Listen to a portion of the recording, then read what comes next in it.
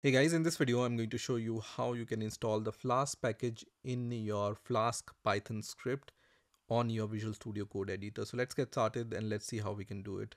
So I have this uh, folder opened here. I'm going to create a new Python uh, script here. I'm going to name my Python script file as test.py and here I'm going to just paste a very simple hello world Flask code and as soon as I uh, do that I can see this error when I hover over this flask at the top and it says import flask could not be resolved.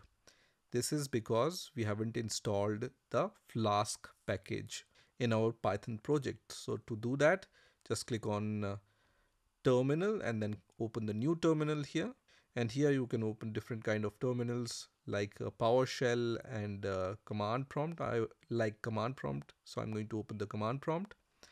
And you can install the Flask in few different ways. The first way is to just write pip install Flask here, which is going to install Flask library globally on your uh, Windows operating system or whatever operating system you are using.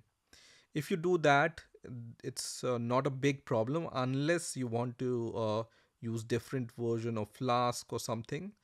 Uh, just write pip install Flask. You can also create virtual environment for your uh, project, which is a different topic. But the easiest way is to just run pip install Flask here and then press enter.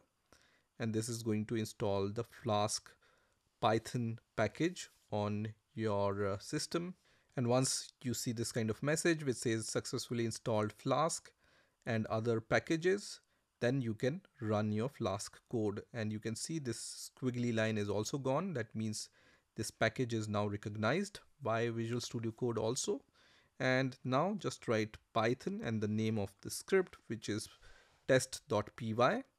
And then you just need to press enter here, which is going to run your uh, Flask server you can also see the port number here. Uh, by default the port number is 5000 just press control and then click on this link which is going to open this link in the default browser. In my case default browser is uh, this one. And when you go to the default browser on this url you can see this hello world which is printed here. And it's due to this line of code right? So now your flask server is running and this is how you can install flask on your visual studio code editor. I hope you've enjoyed this video and i will see you in the next video